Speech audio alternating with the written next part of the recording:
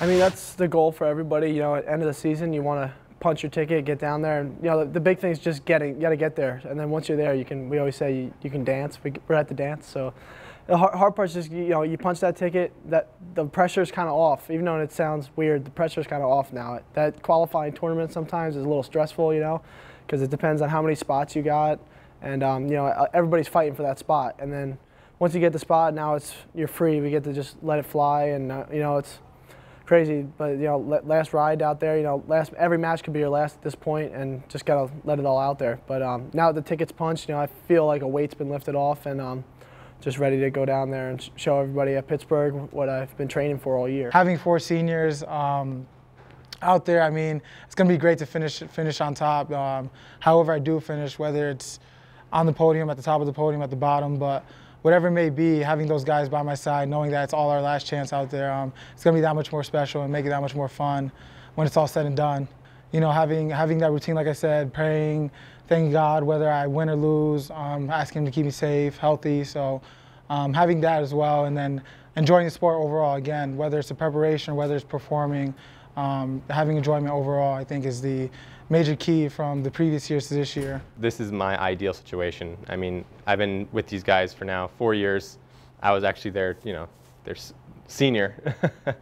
um, and now I'm able to do this with them um, for the first time. And, you know, it's a great experience. You, you would want to spend these, these types of experiences with your friends or the people that you spend every day with. So having three other guys that I'm very close with to go with me is, is just, it's awesome. So I've been doing this for like 14 years. Uh, my life has literally revolved around the sport. Um, so I'm, I'm reaching the end, and it's kind of, you, you sit down and think because it doesn't really hit you ever until it's over.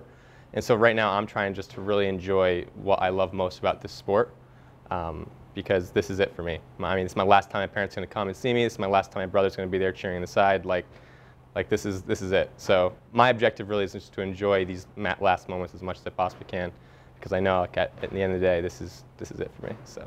It's a big deal. My high school coach even texted me saying like first guy in history of my high school program to make it to NCAA D1, and he's going to be there. So I'm really looking forward to it. It's a good way to end out. It's a blast.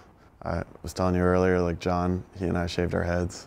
Our coach says he has a little thing saying for the national tournament, it's a clean slate. So everyone's records from previous years, it doesn't matter.